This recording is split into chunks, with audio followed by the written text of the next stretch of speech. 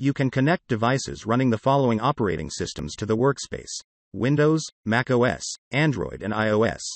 To connect devices to the workspace, send invitations to the users. All they need to do is follow the link in the invitation, download the installer, and run it. Users don't need to make any decisions. A user must have administrator permissions to be able to install the components. The link in the invitation is universal and helps install a security application on any device computer, smartphone, or tablet. Kaspersky Endpoint Security Cloud automatically recognizes the operating system version and redirects the device to the respective installation package. The downloaded distribution contains Kaspersky Endpoint Security and KSC Network Agent. The installation wizard does not prompt the user for anything, but requires administrative permissions. You can't choose a language pack for Mac OS. Kaspersky Endpoint Security for Mac includes several localizations and selects the language automatically according to the operating system's settings. If Kaspersky Endpoint Security for Mac is not activated during the installation, it will receive a license as soon as it connects to the cloud server. You can install Kaspersky Endpoint Security for mobile and connect a device to the workspace if it is running Android 4.2 or later. If you cannot open the invitation on a phone for some reason, open it on your computer. Scroll down and scan the QR code with the device that needs to be connected. The QR code contains the same link as the invitation.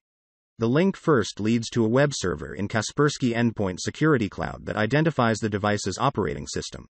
Kaspersky Endpoint Security Cloud redirects Android devices to the Kaspersky Endpoint Security for Mobile page in Google Play, from where you can install the application. Complete the setup wizard of Kaspersky Endpoint Security for Mobile.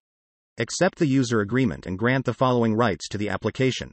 File access permissions are required to scan files for malicious components. Administrator permissions are required to lock or wipe the device remotely if it is lost or stolen. Location permissions are required to determine the device's location if it is lost or stolen. Camera access permissions are necessary to take pictures of a person who uses a stolen or lost phone. Accessibility service permissions enable the app to scan websites before they are opened. The installation has completed.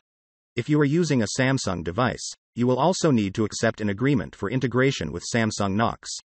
After the installation completes, Kaspersky Endpoint Security for Mobile will report issues because there is no license on the device. Kaspersky Endpoint Security will receive it from the server in a few minutes, after which it will update the signature databases and scan the device. Kaspersky Endpoint Security for Mobile synchronizes with the workspace once every 6 hours by default. Additionally, Kaspersky Endpoint Security for Mobile receives messages from the workspace via Firebase Cloud Messaging, FCM, a push notification system by Google. Thanks to FCM, the device can receive updated settings and commands within seconds instead of waiting for the next scheduled synchronization.